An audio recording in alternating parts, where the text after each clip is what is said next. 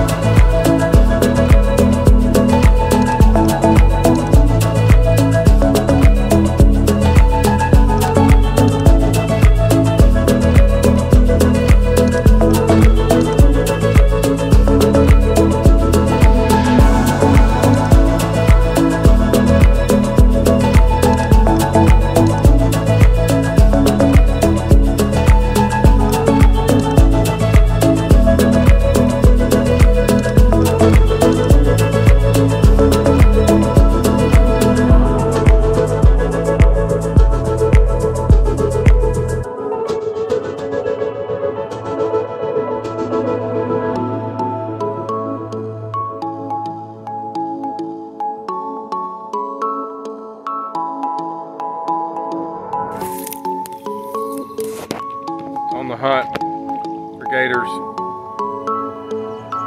Southern Paddler.